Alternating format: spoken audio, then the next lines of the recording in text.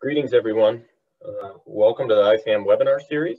Uh, I'm Ron Ackermann, the director for the Institute for Public Health and Medicine, and I have a distinct pleasure today of uh, the opportunity to reflect on the past year, uh, our fiscal year of 2020, and some incredible things that have happened, as well as um, incredible work by members of our institute that I'd like to share with you. Uh, this is an opportunity to reflect as well as to share, uh, to ask questions. Uh, I'm going to rattle through a lot of slides, and the purpose is just to share information that I hope um, is uh, uh, helpful to, to, to, reflect upon, to think about. Um, hopefully, it'll generate conversation. Uh, I'd like to leave some time for that. Uh, if you're interested in asking questions, please use the Q&A tab not the chat function uh, for this uh, particular presentation. If you use the chat, we won't be monitoring it uh, regularly, but the Q&A will come back to, if you have a question during the presentation, feel free to ask it using the Q&A, uh, and we'll, we'll stop at the end and we'll, we'll go through as many of those as we possibly can. Um, and I apologize, of course, I get paged right as I'm starting. Give me a second to stop that. Um, so uh, with that, I will get started. And like I said, I'm going to go at a pretty fast pace here, but uh, please do ask questions. Um, I'm going to give a bit of an overview first of, uh, of the year in review in terms of uh, people and things that have happened uh, in IPHAM, and then um, really take a look back at the year and some uh, quite exceptional things that have happened around us and, and the ways in which we've responded as an institute and continue to work towards. Um, I wanted to begin this year with just recognizing our incredible staff uh, in IPHAM. Um, not all people who work with members in IPHAM are staff of IPHAM. We don't uh, necessarily hire and manage uh, those staff uh, within IPHAM. Some of them are in departments, but we have over 120 individuals who are in IPHAM uh, and, and we're we're proud of every one of them. We're proud of the staff that uh, that are appointed in departments and work with IPHAM members on research and training. Um, these are the ones in the institute. Um, it, it's just, uh, uh, you know, we can't say uh, too much about any individual, but it's uh, definitely the truth that we could not accomplish what we do as an institute. Uh, continue to innovate and do the incredible things we do, both in training and research, uh, and work in the community without uh, these incredible staff.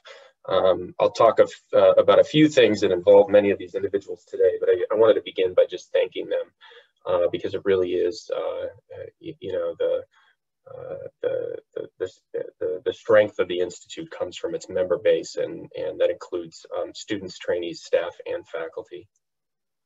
Um, these are the values of the Institute. I just want to put them up there again. I think, I hope that they are illustrated in the talk I'll give today and the information that I'm going to share with you.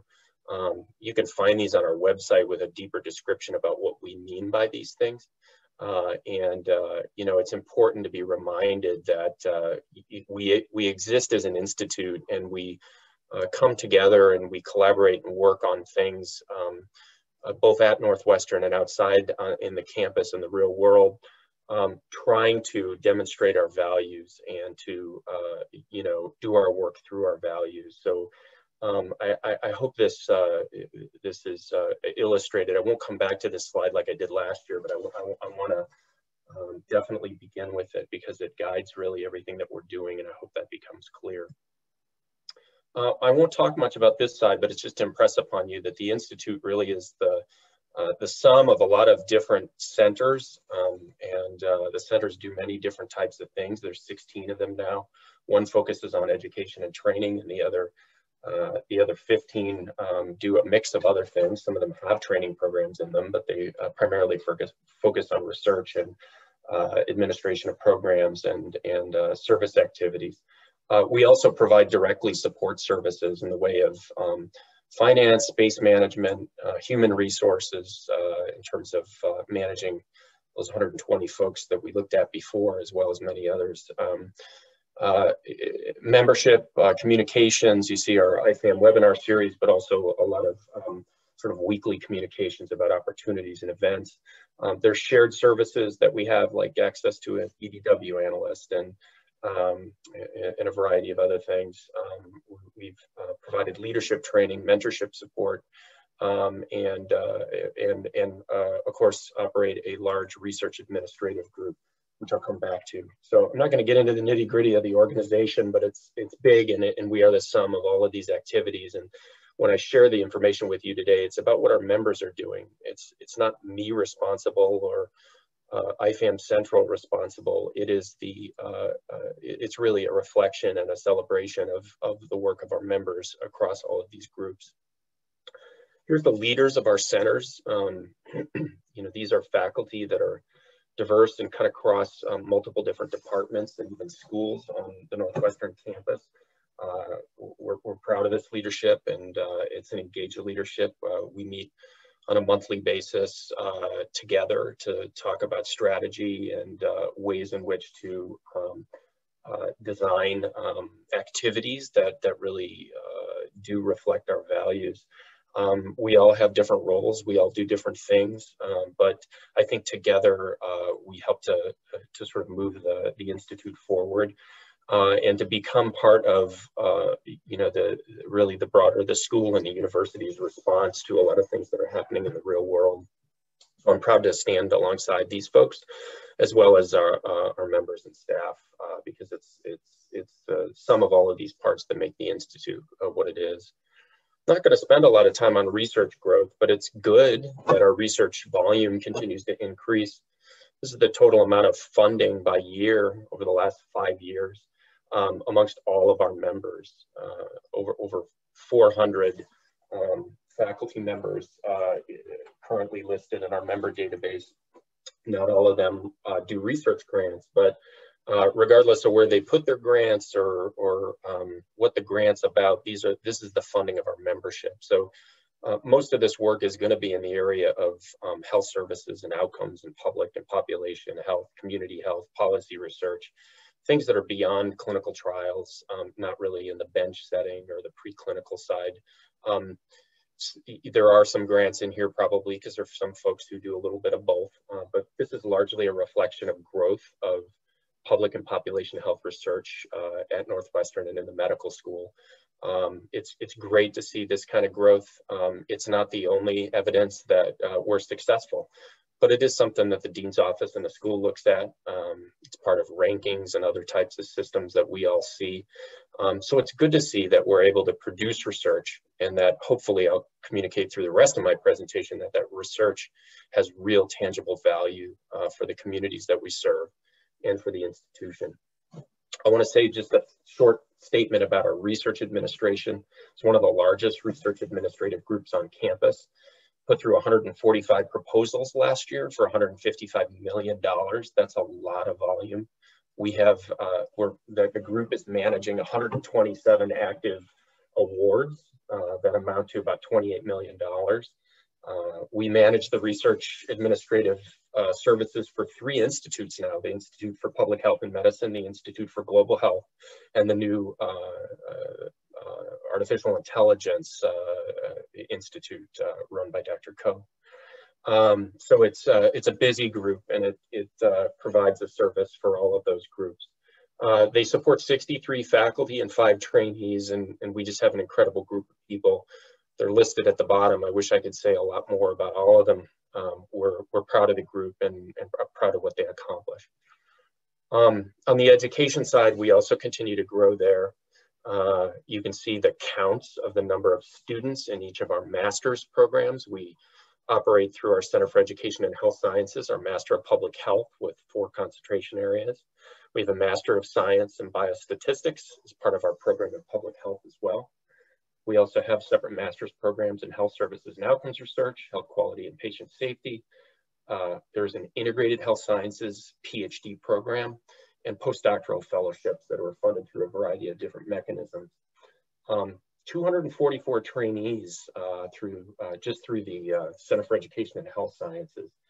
Uh, we have record student enrollment this year for the MPH program, so our Master's in Public Health is growing. Uh, and 18 new students for our, our, Health Services and Outcomes Research Master's Program. Um, so that's, that's great signs of people, new learners, new careers being developed in areas of public and population health. And hopefully um, they'll find mentorship uh, and be successful uh, as part of our institute or leaving our institute to do great things in other settings. I want to say a moment about, um, just briefly, there's lots of innovative things about um, what's happening in our training programs. I want to point out that um, Leah Neubauer this year uh, received a national award from the Association of Schools and Programs in Public Health. So that's the national organization of accredited schools and programs. Uh, and she received the one and only Early Career Public Health Teaching Award. Um, she designs innovative curricula and um, co-directs the uh, global health concentration of the master's uh, degree program. Uh, we're really proud of Leah and uh, happy to recognize her.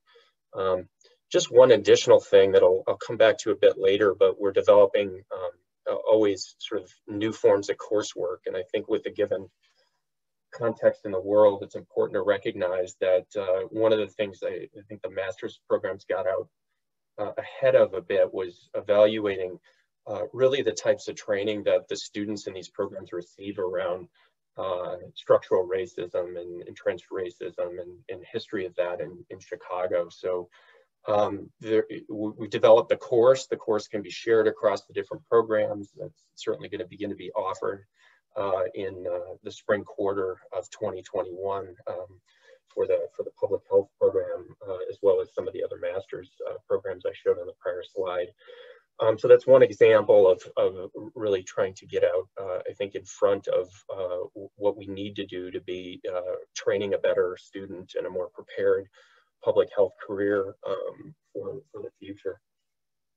I want to recognize a few more investigators, some leaders, and some notable awards uh, in addition to what I just showed. I'd like to show people that um, really are just kind of beginning their career in research. Uh, and one way to do this is to look at new K awards. So these are career development awards.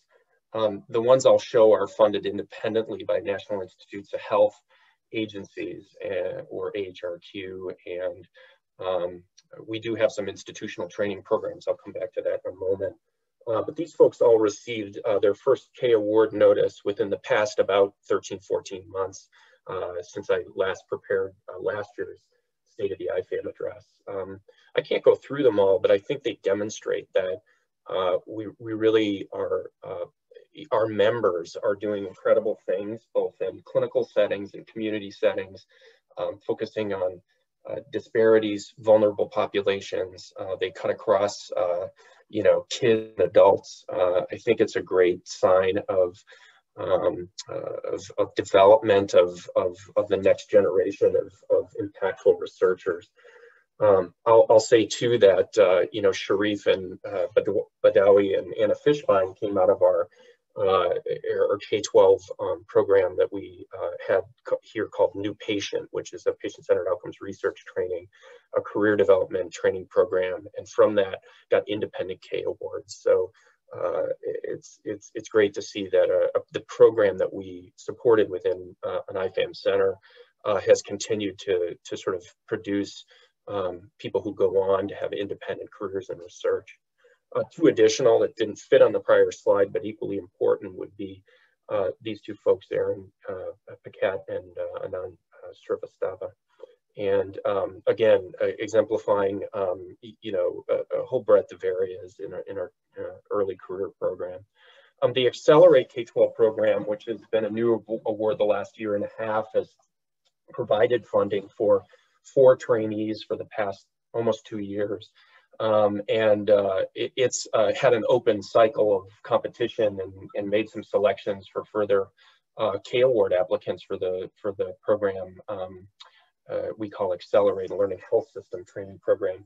Um, those those uh, appointments need to be approved by the funding agency HRQ, so they're under review. So we can't say who they are or how many, but it's something that will continue to uh, to fund K award applications and folks that are doing research with mentorship, uh, uh, largely coming or partly coming at least from IPHAM. Um, these folks are people that that are first time R01 level awards. So Um, they're, they're, basically large independent research awards, uh, investigator initiated awards. Um, this is the first time these folks have had an award like that. So many other folks with pilot grants and foundation funding, and that's all really important um, as well. We, we can't summarize all of it on a slideshow, uh, but uh, you know, wanted to kind of recognize that some of these folks that come out of K programs and other training programs here in the Institute or, or with some of our uh, members uh, have gone to what is now considered really their own independent research programs. And we're excited for each and every one of those, again, reflecting um, a great sort of span across departments and different content areas. Some of these folks have received seed grants. Um, uh, like Adam had a seed grant from our Center for Community Health a few years back. I think he had two of them. Uh, Howard Kim came out of a K-12 program uh, for New Patient Again, so another person who came out of that program. Um, so we're, we're excited about all of these folks and excited that we continue to, to, to sort of help uh, new investigators start their careers. We also have new faculty, new to IPHAM. Um, Tara Lagu is a hospitalist. She's going to be joining us from uh, uh, UMass and Baystate, Springfield, Massachusetts. Uh, she is uh, really an exceptional uh, leader and creative person that uh, is going to come and direct our Center for Health Services and Outcomes Research. Uh, she actually starts next week. We're really excited about that. Um, I'll talk a little bit more about her when I get to her leadership slide. Uh, Lisa Lombard is a, a, clinical psychologist who focuses on mind-body interventions for kids and is working in uh, with the uh, Center for Food Allergy and Asthma Research. Maryann Mason is a sociologist, an expert in social determinants of health and community equity, and has been working in that space a long time. Has been a partner uh, and uh, involved in uh, ARC, the Alliance for Research, for several years as a, as a member of the faculty over at um, uh, at, at Lurie Children's Hospital and uh, came into the as an associate professor in the School of Medicine, the D Department of Emergency Medicine this past year. Um, she's doing some great work uh, involved in the uh, Buehler Center for Health uh, Policy and Economics, focuses on uh, violence and obesity prevention, a lot of related areas. Uh, Marquita Lewis Thames is a, a, new faculty member who joined us from a training program at Wash U in St. Louis. Prior to that, she was in Alabama, UAB. She is interested in rural health disparities and uh, African-American um, health disparities. Um, her, her interest in rural health uh, has focused uh, on cancer survivorship and a variety of other areas. And she recently got a pilot grant um, from the uh, Respiratory Health Association looking at lung, uh, lung cancer survivorship disparities in rural settings. David Liebovitz is a, uh, is a um, general internist and an informaticist, and uh, he's, he's uh, been involved in quality improvement and uh, system improvement using electronic health records and other tools that involve informatics in the, in the clinical delivery setting. Uh, he comes back to us actually, he was at uh, Feinberg a number of years ago and came back to us recently from the University of Chicago. So we're excited to have him working in CHIP, uh, the Center for Health Information Partnership. I want to recognize some awards and, um, you know, uh, Tamara won our, uh, our institutional uh, Mentor of the Year award, I, I, think it was last year, and uh, this year won a, a, similar national award from the American Society of Nephrology as a distinguished mentor. Uh, Melissa Simon and Karl Bilimoria, um, many of you who know them, uh, very passionate, very engaged mentors who, who are uh, involved with a lot of junior folks in, in, the Institute. And I'll, I'll, talk a little bit more about Melissa's, one of Melissa's training programs in a, in a moment. Uh, but they both uh, were uh, received this year's Mentor of the Year award for the school.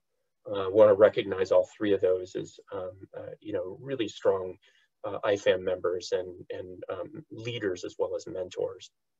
Some additional awards that were notable, Abel Kho and Yuan Luo uh, received uh, new investig a new investigator award. Uh, well, Luan, Luan, Yuan got a new investigator award. Abel's was a um, Innovation in Informatics Award, both from the American um, uh, Medical Informatics Association. Um, uh, Teresa Walunas uh, received, uh, she was uh, awarded as a fellow of the American Medical Informatics Association.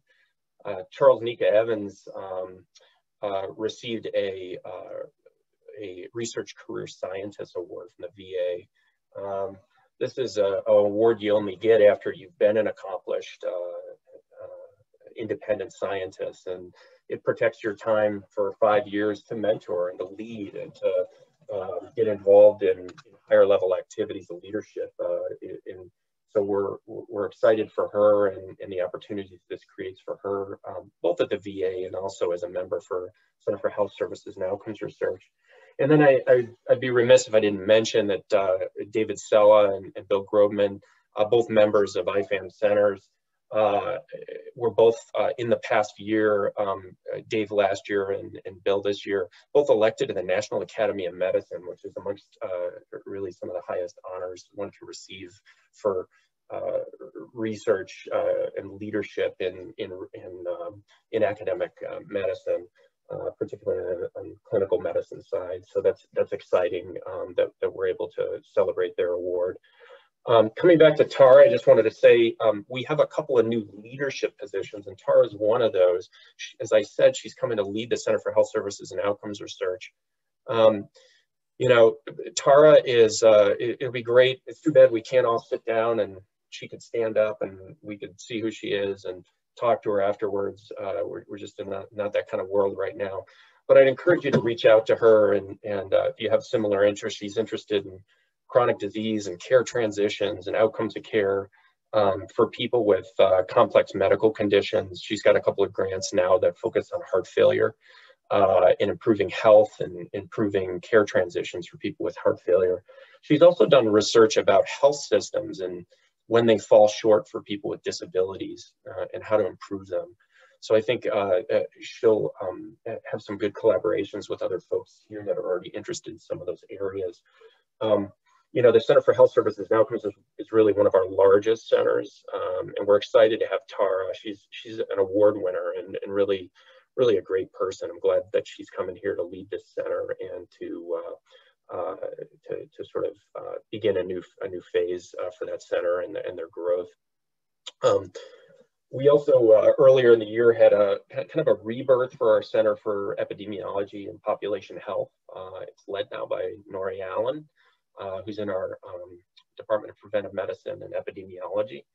Um, the, the, the, group is beginning with some established strengths and uh, Nori is leading uh, a program of uh, data linkages and how you bring data together. And um, John Wilkins does something slightly related in data pooling. And it's, you know, how do you put together cohort studies, different cohort studies to, to sort of ask and answer questions about um, differences in health outcomes and um, uh, long-term health for, for people in cohort studies that are across different race and ethnic groups and different parts of the country.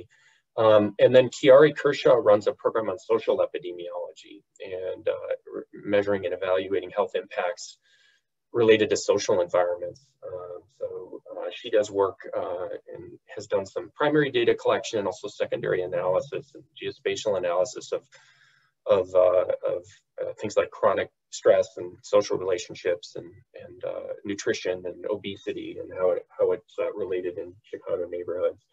Um, so we're really excited by the growth uh, and, and further evolution of this center. Um, our Center for Education also has new leadership. Um, we had a national search, or eh, not a national, but a, a, a local search, and, and, we really felt like we had several good leadership candidates here um, uh, for, for this position. And we had a rigorous search process, search committee, and uh, several very good applicants that uh, finally uh, got to the point of uh, selecting Neil as a permanent director for the center. Uh, we're excited by his uh, his leadership vision and uh, what what um, uh, what he hopes to, to do as we continue to improve these programs and try to grow and evolve in ways that are more innovative and and allow the center to continue growing. Um, one of the centers I announced last year, which was our Center for Applied Health Research on Aging, we established that in 2019, um, submitted a P30 uh, Center Grant Award, that's a core center, to the National Institutes on Aging. And they got that award this year. Uh, they are one of 13 Pepper centers in the United States. And the center will focus on improving primary care for older adults that have multiple medical conditions. Uh, it integrates some strengths here at Northwestern, um, including some clinical geriatric strengths and work in health literacy, um, health education literacy, uh, and um, also um, decision science and self-management behavior. Um, the uh, interestingly, the center runs a pilot grant program with rather large grants. So you're, if you're interested in aging research and collaborative aging research, you really look into it.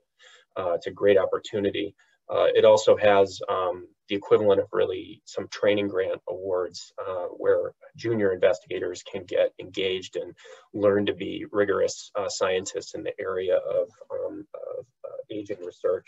So I would uh, I would uh, look into that if you're interested. The, the center is led by Michael Wolf, and and he he leads CAHRA, um, and then um, Jeff Linder was co-PI of that uh, of the P30 submission uh, on that award. Jeff is the division chief of general internal medicine and geriatrics. Um, so we're we're excited for both of these guys to to bring this award to CAHRA. Um, so I want to shift just a little bit now, and I want to talk about, um, you know, there's a couple elephants in the room, and it's really affected our work over the past year, and that's how I'd like to spend the rest of my time. Um, one of those is the global pandemic of COVID-19, uh, and I, I just want to show firstly, um, you, you, know, the the surge we had here in Chicago, and uh, mask wearing is just one example of how this has drast drastically impacted our lives. Um, we went home in March and we really haven't come back, many of us. Uh, certainly if we have come back, uh, life is a bit different than it was in the past. And so this has dramatically impacted our lives, all of us. Um, lots has happened in the last uh, eight months, uh, nine months. We continue to have a lot of uncertainty about what will happen next and how long it will happen for. Um, but I want to talk a little bit too about the fact that it doesn't affect everybody equally. And as we um, are a uh, institute at a major academic medical center in the city of Chicago. Uh, we do a lot of work in the city of Chicago and with partners in the city, and we recognize the unequal burden of the burden of COVID on uh, on, on our neighborhoods and uh, on different populations in the city. Uh, and a lot of that has become science, uh, but uh, it's also become uh, really a focus of volunteerism and, and service work and, and really anything we could do to help the community uh, as an academic institution to help the community to, to sort of get through this COVID ep epidemic. And, and we still continue to, to work in that, in that path. Um, you know, this started early on and really in February to early March, um, there were a few groups that you know, got involved pretty quickly. We've got highlighted on the top ones a paper in the Lancet, which was published in uh, March. Uh, and uh, it, it's basically a report of the first known person-to-person transmission of COVID in, in the whole U.S. And uh, it was basically a, a really intensive contact uh, tracing and, and um, event tracing uh, exercise that involved three of our trainees in the in the preventive medicine residency program that we operate in um, partnership with Cook County. Um, so that was uh, really exciting. And, and there were several other papers, people writing about how, uh, in, in leaders here at Northwestern writing about how, how COVID is transmitted and how it's disrupting care and lots of things that, uh, that were important at the time. Um, I'm only highlighting a couple here. The, the second paper I put up is is really, uh, you know, uh, a, a, group effort by several folks uh, working collaboratively with Mike Wolf and, and several of the other folks, um, uh, many of whom are, are, members of IPHAM that are listed in the author byline. Um, and it was really to say we've got engagement of existing populations or large groups of individuals through our research. Could we quickly do an IRB amendment and collect additional information about how COVID is affecting their lives? And um, this group, I, I, put this up there because this group um, proposed these changes, did the IRB amendment, started the data collection, analyzed the data, and got this paper in publication in a month. Um, so from concept to publication was a month. So although we always struggle and complain about how long it takes for evidence to hit the public domain, um, these people did something really timely and, and really quick just based on research and work and structures they already had in place. Um, and it's, it's really uh, miraculous, I think, to kind of think through how many of us in the Institute over the past year just said, well, this is something I'm doing, this is something I know, how can it be helpful for us as a society or a population to address COVID? Um, Another example here is uh, there was a lot of action early in March, really late February, early March around trying to mobilize people and share information about how we could get involved and how we could engage with public health partners. Some of that was organized uh, in the Center for Health Information Partnerships and it, it, involved mobilizing data and people and partnerships throughout the city. We put up a web page, the Chicago COVID Coalition, it's still out there. It's got strategic goals and values and lots of resources and linkages to other things. Um, you know, there were uh, at, at one point probably over 300 uh, Northwestern faculty collaborating in some way, uh, either communicating or participating in work groups of the coalition that did everything from modeling to uh, developing new data systems to trying to develop systems that would uh, allow the sharing of ventilators and, and other things to happen if we got so far that we, there were huge shortages of supplies um, throughout the throughout the city. So um, you know, really a, an incredible thing. It's it's hard to encapsulate this all on a on a single slide, but uh, just wanted to kind of give a shout out to the group and Chip for the work that they did organizing this. Uh, Teresa and Abel and uh, lots of the staff. Uh, so many people were involved. It's hard to recognize everyone. Um, we did, uh, you know, quickly kind of shut down the, the seminar series uh, as we went to the stay at home and, and converted, got back up and running uh, about a month, five weeks later as a webinar series. And we began by introducing some of the things coming out of the coalition and then other groups that were working on campus. Uh, Jaline uh, who's in the Department of Preventive Medicine and has an affiliation with Global Health as well um, has really been involved. She's an infectious disease modeler. She does agent-based modeling that directs policies or helps to guide policies for malarial containment in Africa. And she used her modeling skills and um, data that was uh, came started to come flowing from public sources, but also from IDPH um, through a data agreement that we developed uh, in just a few weeks. Um, and she developed some prediction models that have still continued to help inform the governor's office and, and other uh, decision makers in the state about the, stat, the status of uh, COVID transmission and, and COVID threat. Um, so it's really become a tool to, uh, to inform policy uh, in concert with other, with other uh, tools. Um, Kelly Michelson and Erin Paquette uh, came and talked to us about the, the ethics of COVID-19 and and it had us thinking a lot about uh, you know um, decisions we really wouldn't want to make uh, like uh, who gets the ventilator if there's a ventilator uh, shortage um, you know there was a lot of uncertainty at the time uh, different uncertainty than today but uh, you know th this was really an important thing um, and and and then um, Judith Mos Moskowitz um, you, you know came and talked to us about anxiety and emotion and, and coping with stress during the epidemic and, and trying to identify uh, uh, positive uh, sort of strategies for, for dealing with that and, and um, sort of shining light on the fact that, uh, you know, the social isolation had dramatic impacts for people and, um, and, and not equally, you know, uh, people that are more socially isolated or different parts of the city or, or due to advanced age really were uh, extremely vulnerable. Um, Mike Wolf talked about his uh, development of uh, the data collection through those cohort studies I described before. And, and uh, Sadiya Khan and, and, John Wilkins came and talked to us about, uh, you know, our understanding for um, how many people have been infected and the distribution uh, uh, and disparities associated with COVID-19 throughout the city. Um, so that's just an example of some of the presentations and some of the folks who were involved. Um, Rob Murphy, you know, uh, used to direct our Center for Global Health and now the Institute for Global Health, but, uh, but an IPHAM member.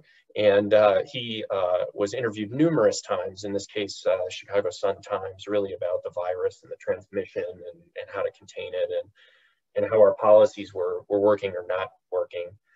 Catherine Belling in our Center for Bioethics was interviewed for an article in Time Magazine about anxiety around COVID-19 uh, Lori Post uh, interviewed on WGN radio about uh, protecting victims of abuse. You know, um, uh, the vulnerability of people that were um, already at a high risk for domestic violence, um, you know, just shining light that that increases when people are contained in the same household and uh, and, and uh, you know, support structures become limited. Mercedes Carnethon, uh, you know, um, was also interviewed a number of times here. She's a guest on the 11th hour on MSNBC, uh, talking about the increase in COVID-19 in Arizona. Uh, and Nami Kandula, uh, you know, was interviewed by uh, Associated Press, and they produced this uh, video um, really highlighting the excess mortality in Asian Americans and just the paucity of data and the ability to understand and act on the issue. Uh, the story was uh, picked up and, and published in, in, venues like the New York Times, USA, US News, and, and World Report, um, Chicago Tribune, and uh, several other news lines. Um, so we're really excited about the the activity and the ability to like get out and share the information in ways that were usable um, to drive policy and to help um, uncover deeper issues about COVID.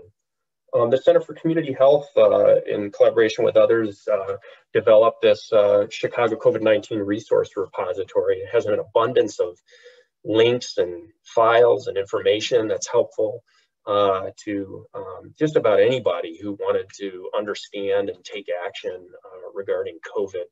Um, still up, it's still running. You can find it from the website there. Um, you, you, can even add information to it. So uh, it continues to be useful as COVID continues. CCH um, and, and, the Center for Food Allergy and Asthma also developed this uh, response and recovery grant program and had participation collaboration from others as well. Um, they've awarded to date, I believe, 28 um, uh, or funding to 28 uh, nonprofits uh, across the city. Here's a map of where they're located. Couple examples of recent awards on the page. Um, you know, really, it's to it's it's to um, provide these organizations with sources of information, um, tools, resources to help um, either collect data or respond locally or take action to um, uh, to, to build some capacity to, to address COVID at a local, uh, at a local level. Um, you can see that program also on the, uh, our, on the um, uh, Center for Community Health or, or CFAR uh, websites. Uh, I want to pivot just a little bit. I'll come back to COVID um, slightly, but just I, I, have to spend a couple moments just you know talking about the um, really the recognition of a pervasive other pandemic uh, and one that's been going on at least 400 years really that's just uh, you know uh, kind of highlights that uh, you know this uh, unlike covid is not recent uh, but it's come to our attention in deeper and more pressing ways over the past year. Um, you know, the issue of uh, deaths of, of uh, African Americans at, at the hands of people sworn to serve and protect uh, is, uh, is absolutely uh, intolerable. It's a public health crisis. And, um, you know, we're on a path to try to figure out how to reverse uh, the structural racist policies that underlie a lot of uh, a lot of the inequities and the injustices that, that, that are part of this and that also affect uh, other other groups across our population. Some of our research has been focused in these areas for a while, but there were a lot of things that happened this year, um, you know, in, in, in, many ways an awakening to, to take different forms of action, to um, elevate the immediacy of the importance of acting now and and really looking in the mirror at ourselves and at our own institutions. And, um, you know, this continues to be a work in, process, in, in progress. And, um, and uh, hopefully it's, uh, you know, not something that we allow to become quiescent and uh, continue to work towards uh, goals of uh, achieving health equity for all and uh, social justice for um, really so many populations, but uh, you know, it's it's just uh, it, it's incredible um, to look at these and be reminded as and, and be hopeful that we're not looking at another occurrence of uh, you know a um, senseless death at the hands of people sworn to protect or or um, but there but there's so many other subtle forms of, of racism that we we need to address. And like I said uh, I'm not here to provide the answers but here to show some some of the ways the institute is uh, creating dialogue trying to be uh, part of a process for change and trying to highlight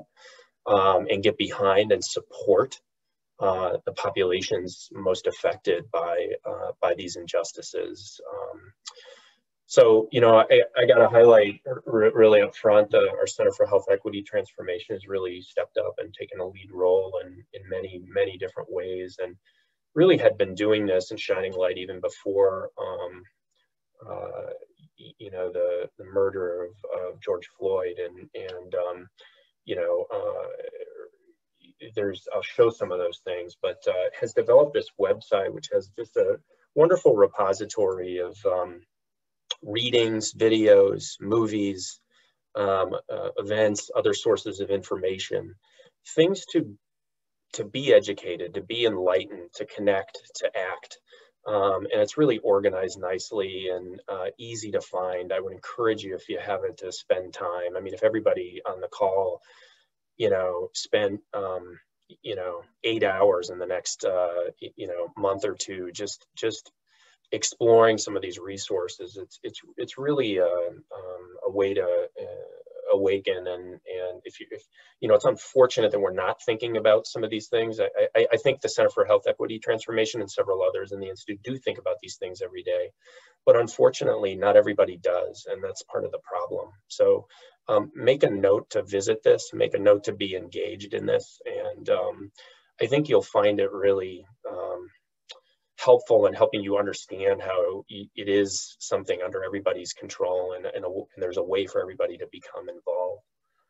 Um, has held these CHET Chat spotlights. They've done a number of events where they brought in um, community leaders or folks um, around, or, or they've even talked about a movie uh, or a book or something. And, and some of these are collaborative presentations. You can see the descriptions there, um, but really focusing on historical context of racism and health disparities in Chicago, uh, the impact of COVID on the Black community of Chicago. Um, it, it's, uh, you know, how do we um, uh, recognize, understand, and, and, uh, and, and uh, develop solutions for uh, for structural racism and, uh, and, and replace racist policies with anti-racist policies. It's, it's just uh, great to get involved in these, pay attention to these. Um, uh, like I said, we, we, need to constantly remind ourselves and remain engaged that it's just intolerable um, that this is a problem just we, we haven't yet solved. Um, there was also a celebration held, held by the center uh, for Juneteenth, uh, you know, recognition of uh, of uh, you know uh, freed uh, freedom from slavery. Many years after after abolishment of of, of slavery. and it, you know, it's it's not a national holiday yet, but probably will become one at some point. I just want to point out this was a nice virtual event, a way to connect around and remind and and sort of um, uh, really understand a, a, bit more about um, uh, about the importance of this recognition and what it means today. And this was led by two of the T37 trainees in Center for Health Equity Transformation, uh, Carmenisha Ward and Danielle Wishart. And um, they did a wonderful job moderating and, um, you know, the production was great. And I, I really just want to congratulate them um, I, I, look forward to continue to see a lot of um, these things continue. It's just it's just really an important vehicle to uh, engage and, and to continue to have dialogue. Um, the uh, I, I, want to say too many of you are aware that uh, you know several student groups and faculty and other folks around campus uh, went to the school and said, you know, what are you going to do about it? What, what's happening? Um, and asked uh, asked for a, a, formal evaluation or or process for investigating sources of injustice, inequity, institutional racism at Feinberg. And um, the dean received these recommend these these recommendations and and uh, and called for four advisory groups. Um, you know, one of them is about how we use information about race and the way we deliver care to individuals um, in clinical settings. And, and that gets back to how we teach students and trainees um, to how you think about a patient. Um, you know, uh, the, the goal here is to eliminate bias from the way that we practice medicine and to make sure that everybody is treated um, equally and equitably. And, uh, and so this committee delved into how race is used in laboratory test interpretation or treatment of particular conditions and whether and when that's ever appropriate or not. And they've made some recommendations. Um, there's one about evaluation bias, uh, and that includes grading and how we give out awards for things like uh, AOA or high achievement uh, medical students and, and other trainees. Um, so how will we how will we ensure that that's equitable? A third was strengthening our community engagement. And that one was co-chaired by Melissa Simon and myself. It involved many of you in IPHAM as well as community partners. I think we're the only um, group that had uh, community partners on our on our committee. So I was excited about that, and uh, we also made recommendations. Um, you know, I can talk more about that if there's questions, but uh, we are waiting now. We delivered those recommendations. Each committee was asked to do the top three, assembled into 12 recommendations that the Dean's office has been considering how best to respond to them. And I know that they're close to making a statement about, um, you know, what was received and, and how to address them, these issues. Um, I don't think it's out yet unless an email came out today that I didn't see when I was in uh, patient care this morning, but uh, it should be coming out pretty soon. Uh, but again, I'm happy to talk a little bit more about that. Um, drawing to a close, I just want to give a couple more examples about our focus on community and health equity.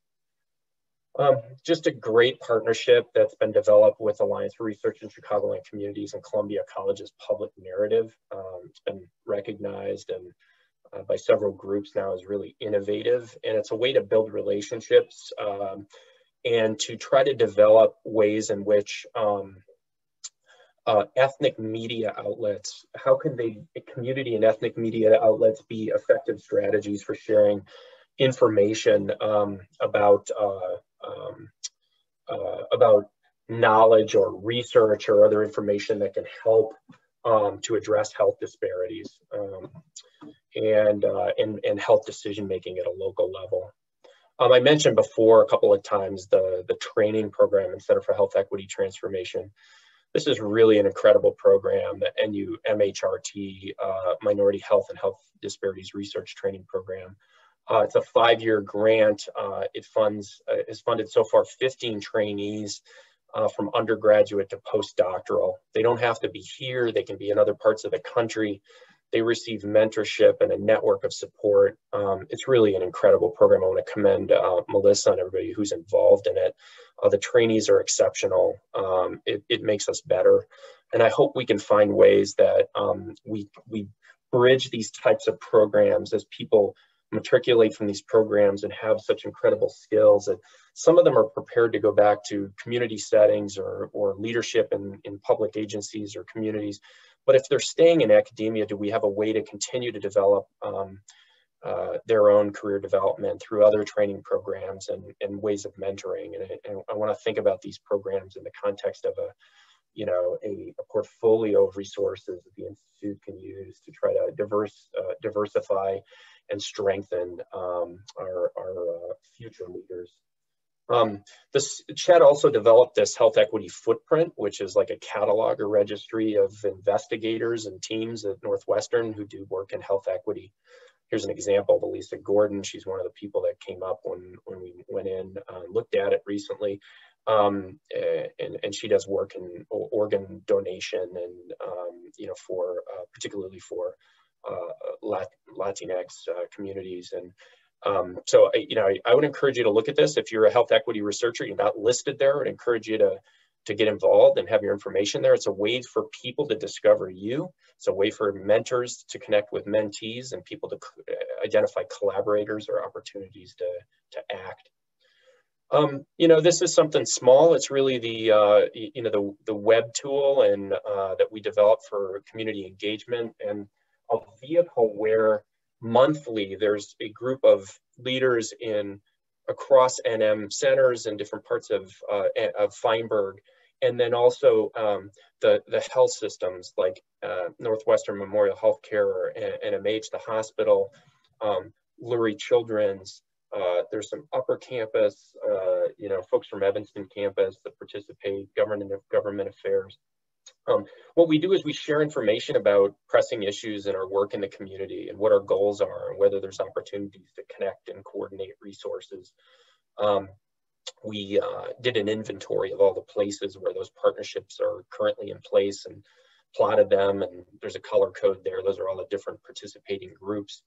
Um, we'd like to use this over time as a platform to continue to share information about volunteering activities. And um, I, I, hope this group becomes a, a, vehicle to increasingly connect and to identify places where we, um, we collectively work together and in concert with the same partners to really bring about meaningful community change rather than that there might be separate groups working in the same communities on different issues and sometimes with the same partners, but not in a way that's coordinated so it is an opportunity, something in, in motion, something that continues to need to evolve, but we continue to work on that and I'm, I'm excited to be part of it. Um, another thing, the Center for Food Allergy and Asthma Research, um, you know, is uh, initially supported by uh, one of the uh, Rapid Impact grants uh, I was shown before, um, developed and hosted a program that brought together 95 CPS high school students from 16 schools um, and it, it, talked about how to be change makers and um, uh, connected with uh, them with health professionals from NU and Lurie to hear about uh, their journeys. And, um, you know, it's a, it's a way to sort of get people interested and engaged and empowered to make a difference. Um, out of this, uh, they created uh, uh, 11 PSAs and 70 posters uh, and came out of, with a lot of ideas of how to improve awareness and outcomes in their own schools and communities. So another good example of uh, engagement. Um, this is a seed grant program, uh, goes into mostly um, community uh, primary care settings. And um, like a lot of the Center for Community Health and some of the other prior practice-based research uh, research funding. This is co-sponsored by uh, Department of Medicine and, and other groups as well. But it requires a community and academic collaborator or co-PI, and you can see that there's a variety of different activities that in this case focus on health systems and access to care and how do we improve outcomes and access from our health system strengths. Alliance for Research in Chicagoland Communities, I've mentioned that a couple times. The one thing I want to mention on this slide, other than that they also have just a tremendous seed grant program, um, over a million dollars awarded in 13 rounds over the past uh, 11 years or so. Um, I want to say that they're hiring a community co-director, which is just really powerful. So this is somebody who's going to co-direct the whole alliance. And the alliance is governed and steered by a community academic steering committee. Um, but Jen has been director of that, and uh, she's very centered on community and very engaged in the work that she does. Um, but she's uh, going to do this collaboratively with a community co-director, which I just think is really um, uh, the way that we need to move in terms of developing programs that are designed uh, with community vote, community voice, and, and genuinely to make a difference in, in the community. I want to call it the Masala study because it made 10 years this year of collaborative research and it focuses on vulnerable South Asian communities, um, a lot of which are first, second generation individuals and has um, in a variety of different ways shown um, the existence of, of really important health disparities in cardiovascular and other areas that really were unrecognized in the past. And um, Nami Kandula and members of her team continue to work um, uh, in, in collaboration with Masala investigators. Um, it's exciting that this partnership has lasted 10 years. I want to stop for just a moment before I end uh, to recognize Jenny Bishop. Uh, Jenny was just an amazing person. Um, she was the uh, co-director uh, early on of ARC and, uh, you know, worked a lot in community, was a fierce advocate for, um, for so many uh, areas around social justice and health equity and community um, empowerment. Um, she, uh, you know, worked toward the end of her career in, in the program of public health and, and really was uh, also had an appointment in, in diversity inclusion. Uh, just a fierce advocate and an incredible person, um, honest to the bone and just a beautiful uh, leader in public health. And uh, we lost her to a battle with cancer in the last year. And I, I just wanted to to recognize her one more time. Um, you know, we should all aspire to be as strong as she was uh, and leaders in the way that she, she led. Um, we have this series of uh, explorations in career public health. Um, you know, we've had three, just uh, two incredible lectures so far with Linda Rae Murray and um, Ngozi Ezike. Uh, just wonderful. If you if you didn't tune into these, you should view them on our website. And definitely tune into David Ansell, which is coming up soon. Um, these are a great series of trying to kind of inspire and show how these people ended up in careers of public health, and I hope create um, a visible pathway for many of you. We're doing something similar at the intersection of translational science in NUCATS uh, and public health. And these are people interested in public and population health and surveillance and epi and lots of things happening in public health settings with Nick. Uh, and they're also uh, heavily involved in NUCATS. So it's another way of showing the intersection of kind of transdisciplinary research. Um, I'll quickly wrap up the Population Health Forum. Uh, would normally be happening here in the fall, but we had decided to push it to the spring earlier in the year because um, uh, we're, we're trying to avoid getting too close to research day at Northwestern and that got moved to the fall both events, uh, well, the fall events got canceled this year, but uh, we're, we're, still planning on uh, a focus on health equity and uh, on, a, on a virtual program that we'll hold in the spring of 2021. So we're excited about that and hoping to replicate the incredible program that we had with partnership and, and uh, presentations by uh, CDPH and national leaders in, in health equity research. I'll leave you with a message to vote. Um, obviously, that's the time is now, if you haven't already. Uh, regardless of how you feel, it's how it's how you influence um, what's going to happen next with uh, with policy and with uh, secular events that uh, that are so important to the work that we do and and the health of our population. So I encourage everybody to to definitely take that action. And um, I just want to add to that we're not done with any of this. You know, obviously this is uh, continues to be a work in progress. Um, we can't be done. It's, uh, you know, there's so many problems unsolved and uh, I look forward, I'm inspired by so many of all of you and I look forward to continuing this work and trying to find better ways to address these problems as we continue to move forward in the coming year. So with that, um, I am not seeing anything in the Q&A. I did see some, some stuff in the chat um, just some information I think that people were sharing with the group. Um, you know, we are at the top of that hour. Um, the uh, looks like there was a couple of things that uh, were asked that we answered administratively. Um, uh, just uh, sharing information about some of the information on the slides. Um, I think that's probably it. If there's no questions, I really appreciate everybody tuning in today. I hope that um, I didn't miss anybody or anybody feels slighted. I can't highlight everything, but I, I, just wanted to point out examples of the wonderful work we're doing. And I just want to say thank you to everybody who's been part of IPHAM this year and continues to move these, uh, these important areas forward. Thank you.